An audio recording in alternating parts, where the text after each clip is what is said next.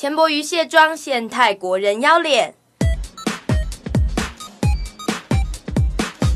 演艺圈发电机钱博瑜对自己的素颜很有信心，平常不化妆也会出门。他唯一在意的就是这里。我自己最不喜欢就是因为我鼻子过敏，所以我黑眼圈，所以就是感觉就是比较没精神。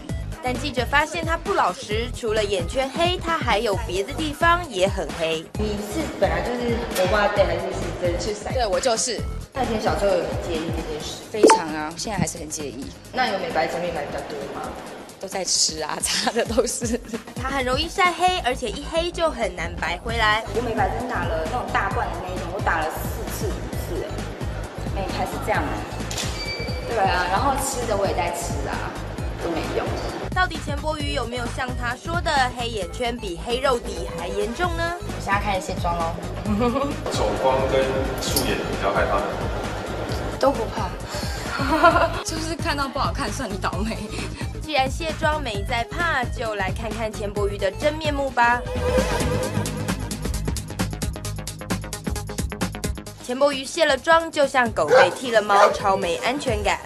来检查。有啦，有擦啦。没擦多少？还是有擦了。没有了粉底和眼妆，钱博瑜皮肤状况其实还不差，只是有点像泰国人。我去泰国玩，然后大家都以为我是泰国人，真的。然后他们还说，他不过他们夸奖我说我是泰国的美女这样子。人妖啊，泰国很美都是人妖。我有胸，我有屁，没有什么，真的，真的还好。苹果娱乐新闻，萨瓦迪卡报道。